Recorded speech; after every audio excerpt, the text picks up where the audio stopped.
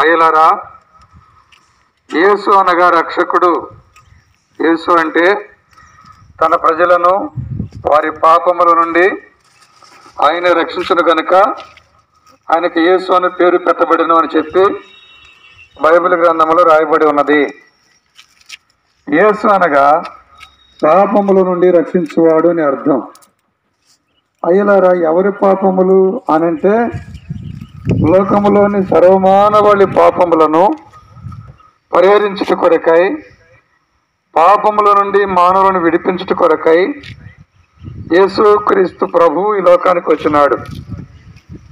పాపులను రక్షించుటకు క్రీస్తు యేసు ఈ లోకమునకు వచ్చిన వాక్యము నమ్మదగినదియో పూర్ణ అంగీకారమునకు యోగ్యమునయున్నదని బైబిల్ గ్రంథము సెలవిస్తూ ఉన్నది.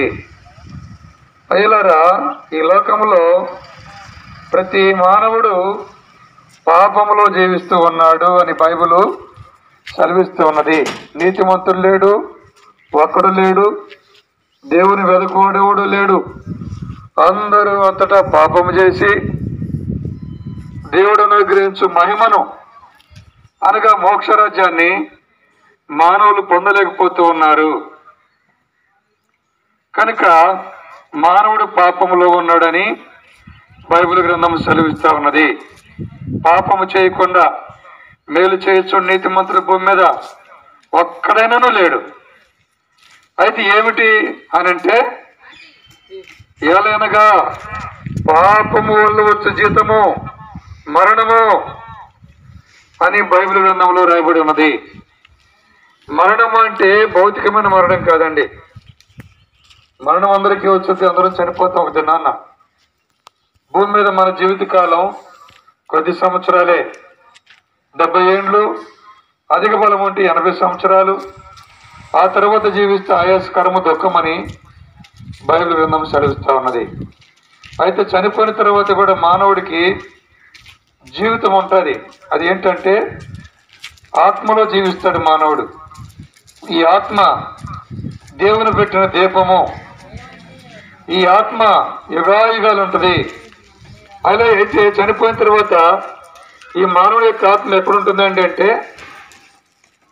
ఈ లోకంలో ఉండగా ఎవరి పాపాలు పరిహారం చేయబడతాయో ఎవరైతే దేవుణ్ణి అంగీకరిస్తారో వారి పాపాలకు ప్రాయచిత్తం చేయబడతా ఉంది. వాళ్ళు పరిశుద్ధులుగా చేయబడతారు. ఎవరైతే పరిశుద్ధులుగా చేయబడతారో వాళ్ళు మాత్రమే పరిశుద్ధులైన దేవుని దగ్గర ఆ దేవుని రాజ్యంలో ఉండటానికి యోగ్యులు. దేవుడు పాపము లేనివాడు దేవుడు స్వయంభవుడు మహిమ కలిగిన వాడు అటువంటి దేవుని రాజ్యంలో ఉండాలంటే మనం కూడా పరిశుద్ధంగా ఉండాలా? అంటే మనలో ఉన్నట్టు పాపం తీసివేయబడాలా?